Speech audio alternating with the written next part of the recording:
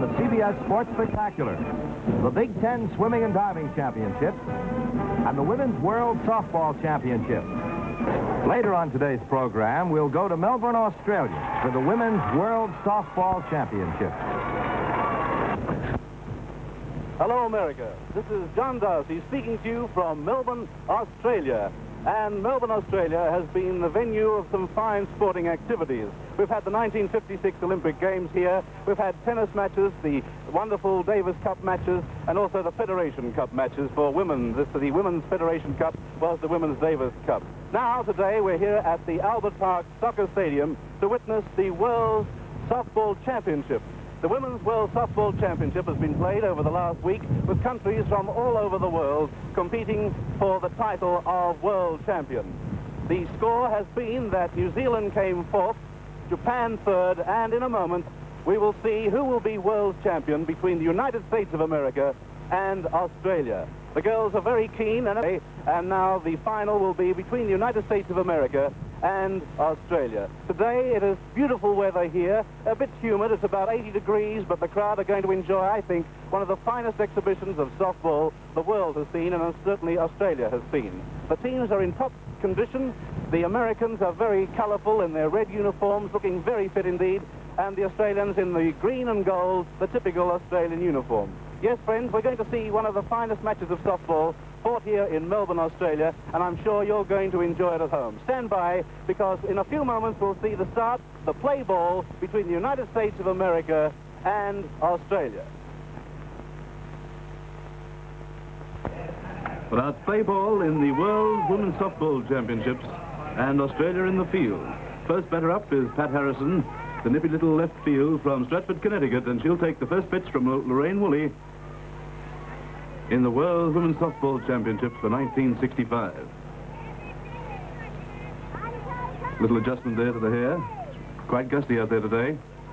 And here is the first pitch in the 1965 World Softball Championships.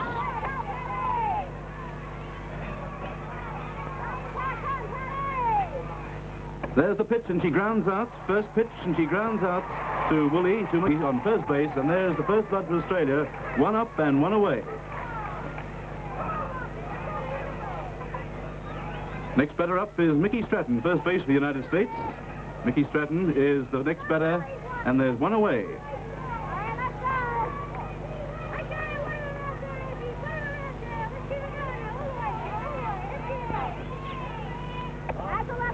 There's the pitch, and it's ball one. Notice that Mickey is very heavily strapped around the thighs there. That's because she's had a few injuries, pulled muscles. The grounds are very hard here in Australia. And there is strike one.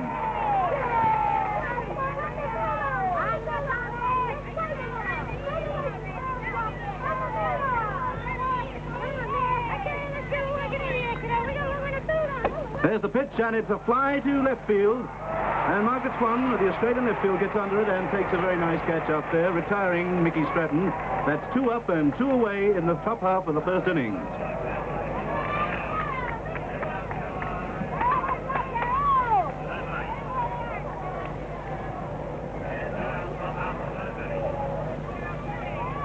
Next batter up for the United States of America is Carol LaRosa. Very windy, and of course the girls must look their best. Carol LaRosa, third base up. And there are two down.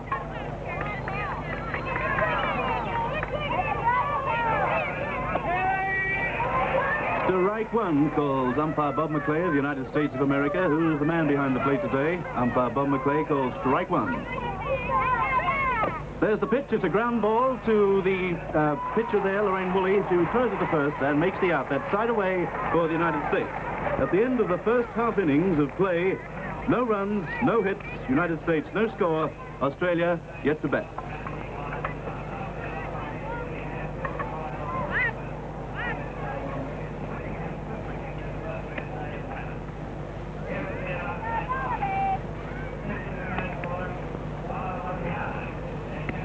Starting off for the United States is Donna Lopiano to Laura Mellish. First batter up for Australia, Nancy Whitingham.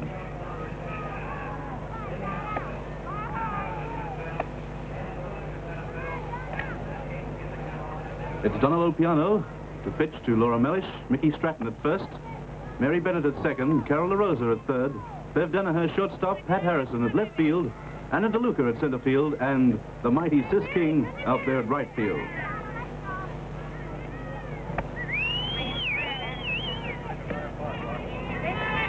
Perfect conditions here this afternoon, ladies and gentlemen, for this big clash, United States versus Australia. Perfect conditions for uh, softball.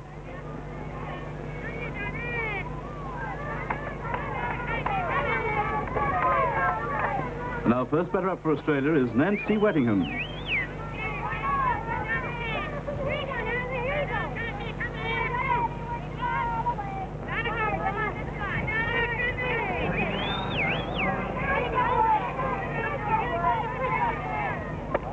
And it's ball one.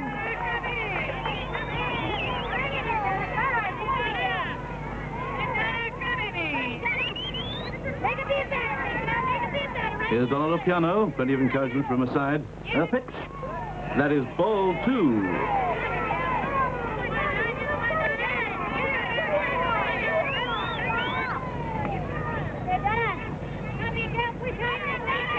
Mickey Stratton just giving her some words of advice. She's only 19 years old, and this is a big occasion for her. Here comes the pitch. And there she's found the plate. Strike one. Strike one. The count is strike one, ball two.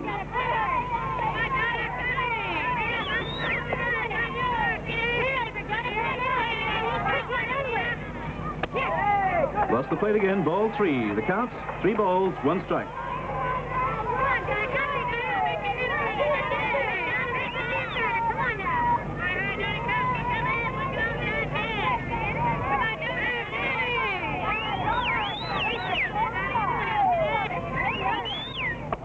Down the middle she goes. Strike two. The full count now. Two strikes, three balls.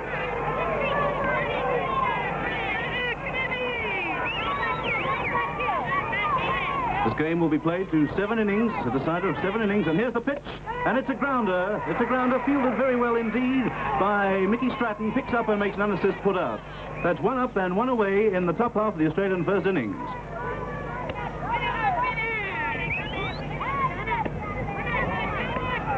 Next batter up is Australia's second basewoman, Norma Smith.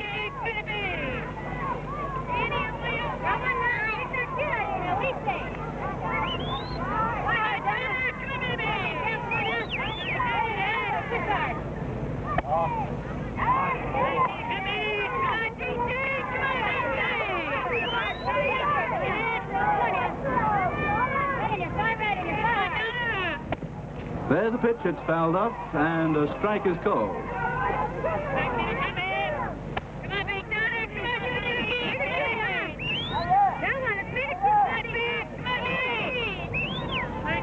One and one the call.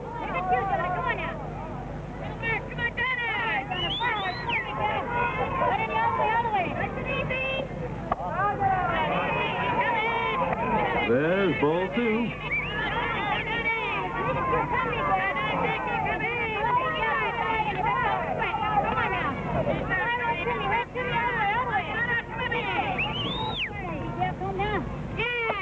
And there's a long fly to right field. Sis King's under it, makes the out, and that makes Australia two out in the top half of the first inning.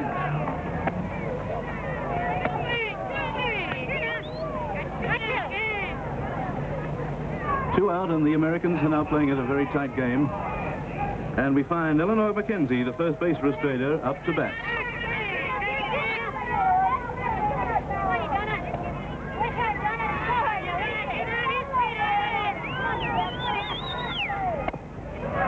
And that's a ground ball to Donna Lopiano, picks up and it's an easy out at first base, picked up by Mickey Stratton, and that's three away, side away, and at the end of the first innings, the score remains United States nil, Australia nil.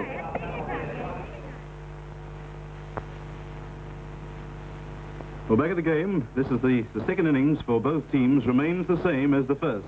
Nothing to nothing. Well, now we move to the third with the United States at bat, and we find that it's the, the young lady Laura Mellish from Milford, Connecticut is up to bat, the catcher, and Laura Mellish will take the first pitch in the top of the third. There's the pitch, and it's a nice hit to left field. That's safe, and she's safe on first. That's the first hit of the game for the United States. And Laura Mellish is safe on first with Anna DeLuca, the center field for the United States, up to bat. Nice hit there by Laura Mellish. With Anna DeLuca to bat, there's none outs. And the runner on first base. This situation calls for a bunt. We'll see if she does it.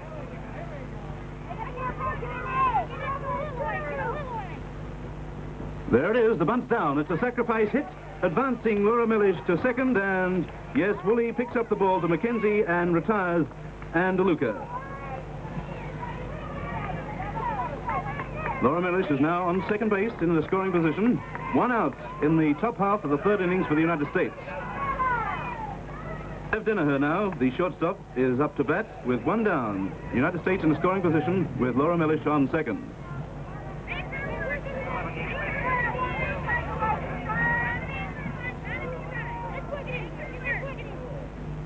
There's the pitch, and she takes a ball. Bev Dinaher takes that ball. The call is one ball on Bev Dinaher.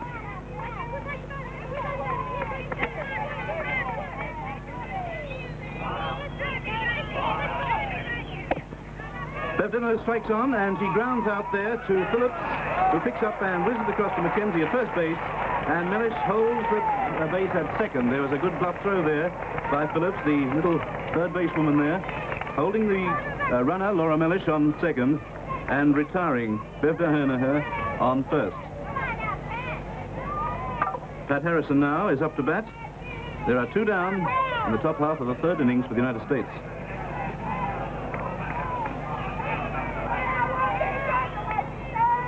Pat Harrison from Stratford, Connecticut. There's the pitch, and one strike is called by umpire Bob McClay. One strike on Pat Harrison.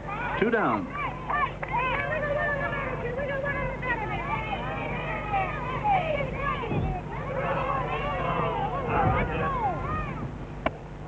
There's a single. It just gets past the second basewoman, and Mellish moves to third. Harrison goes to second on Somerville's throw home. Two down in the top half of the third for the United States.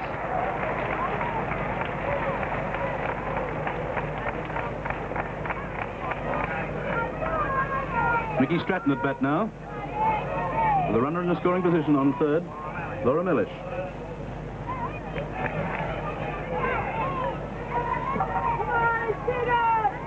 Two out with Mickey Stratton at bat and a runner in a scoring position.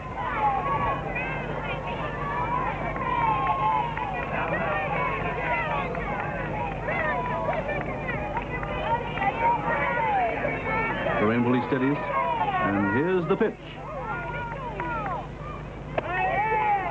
It's strike one, calls the umpire. Strike one on Mickey Stratton. The runners on second and third in scoring positions. And there are two out.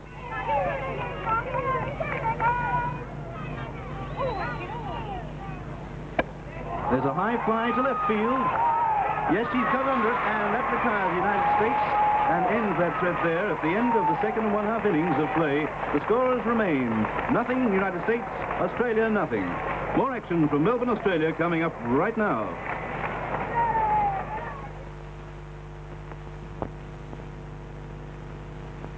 Well, back at the game, at the end of five and one-half innings now, it's still a scoreless game. United States had five base hits, the Australians two, as the home team comes to bat in the sixth innings with the first basewoman, Eleanor McKenzie, at the plate.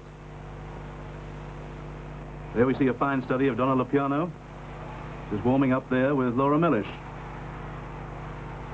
Very tight game, very tight, wonderfully played, both sides not giving an inch.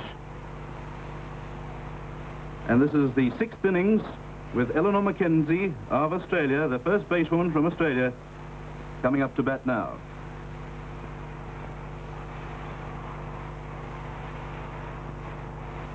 As you notice, friends, we play on grass here in Australia, whereas the United States, they're more used to the skin infield. And here's Donna Lopiano to take the first pitch in the sixth innings. And she swings on, and it's a foul ball. Foul ball. Strike one against Eleanor McKenzie.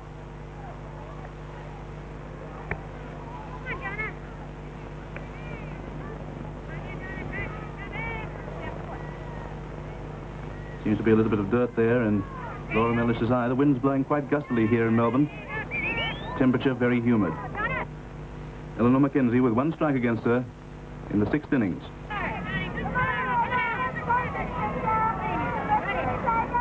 There's the pitch, and she swings on. It's a big hit out to center left field. And the throw relayed back. Will she make it? Yes, she slides in, hands first. And the umpire called safe. The umpire called safe, and Mary Bennett at second base. Uh, doesn't seem to uh, quite agree, but who does agree with the umpire? And she slides in to be safe at second base. None out. And in a scoring position for Australia, with Sandra Somerville, the centre field for Australia, up to bat. Seems that there is a little knock on the head there, being given assistance. Assistance here by uh, first aid. Maybe the wind knocked out of her. Bit hard sliding in there to second base head first, and uh, Mary Bennett is quite solid. So we find Eleanor McKenzie safe at second on that very nice hit to left center field. Time to Somerville for Australia. Here's the next batter up. With Australia in scoring position.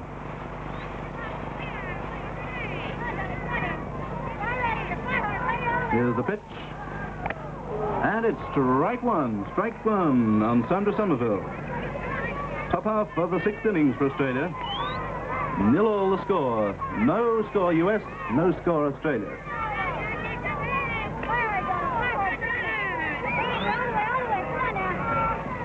There's the pitch, and it's a long hit out to Sis King, who gets under it, relays it back, and holds Eleanor McKenzie on second base. One down, with Gladys Phillips, the Australian captain, up to bat.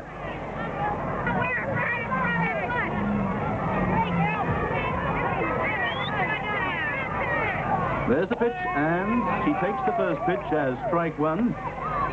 Taking the first pitch as strike one. One out in the sixth inning.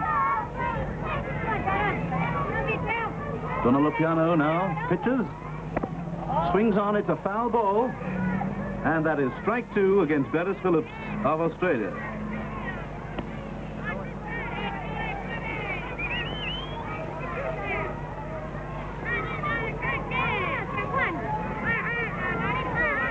Strike two on Gladys Phillips of Australia in the sixth inning. One down.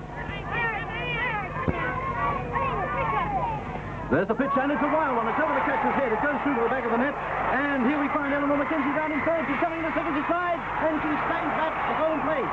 Home plate with a wild throw that brings in, that lets in Australia's first run. And the Australian team are very happy about this. It lets in Australia's run in the sixth innings. And that came from a wild pitch from Donna Lopiano. The ball went through the back plate, and, the, and that means that all runs must be run out. It goes through to behind the net. And the girl came home from second. Sandra Somerville came home from second, sliding across the plate to make it one run to nil in Australia's favour in the sixth inning. This is very grim for the United States.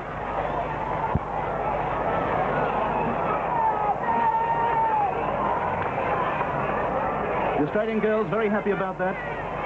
The crowd sensing that this could be victory for Australia. And it's electrifying here at the Albert Park Soccer Stadium where we have Margaret Swan, the left field for Australia, up to bat.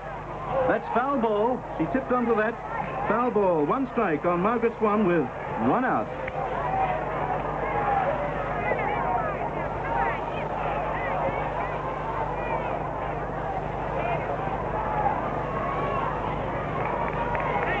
Seems that uh, they had to change the ball there. They took the wrong ball with that foul tip. Now Donna Lopiano is ready to pitch to Margaret Swan.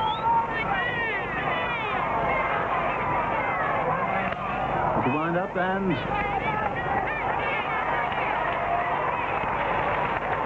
Yes, she's paid. Margaret Swan is paid.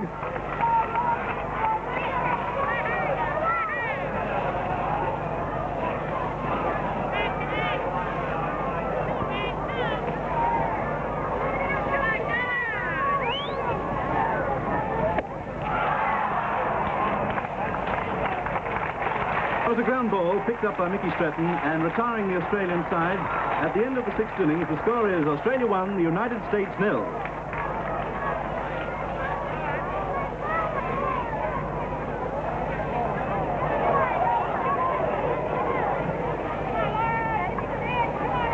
As the top half of the seventh, the United States are in serious trouble if they don't get the equalizer in this dig.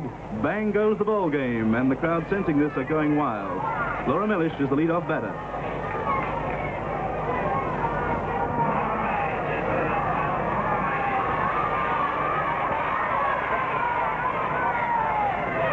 Lorraine Woolley, the Australian pitcher. And there's the hit. It's a solid hit, and it's beautifully caught by the center field, Somerville, and retiring Laura Mellish, one up and one away. If America don't score in two more, two more digs, in these two more batters to go, well, I'm afraid it's curtains for the United States. Anna DeLuca now is at bat.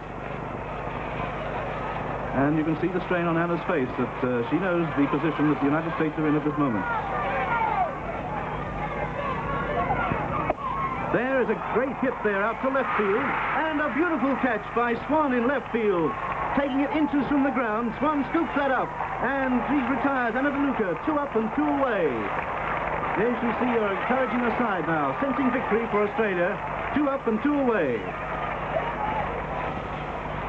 Now is Millie Dubord, a great player for the United States team. In the last time the Australians met, she was the one that brought in the winning run. She's pinch hitting now in Millie Dubord, pinch hitting for Bev, Bev Danaher. Last batter up.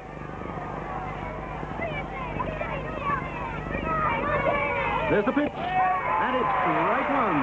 Strike one on Millie Dubord.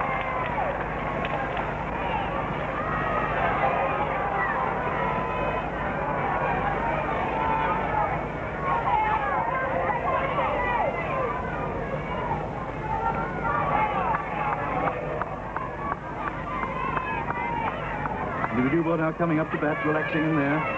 He knows exactly how important this is. There's the pitch, and it's a line drive to third base. Phillips picks up a long throw. McKenzie tags the runner, and there it is. There's the ball game. That ends the game. Final scores: Australia one, United States nothing. And the Australian team are becoming wild with enthusiasm. Their wonderful sportsmanship, wonderful sportsmanship by Millie Dubord has been shown by the American girls and there we've been seeing the Australians are the champions, the world champions, brought to you by the International Softball Federation, this wonderful series of games. And this is John Darcy saying goodbye from Melbourne, Australia.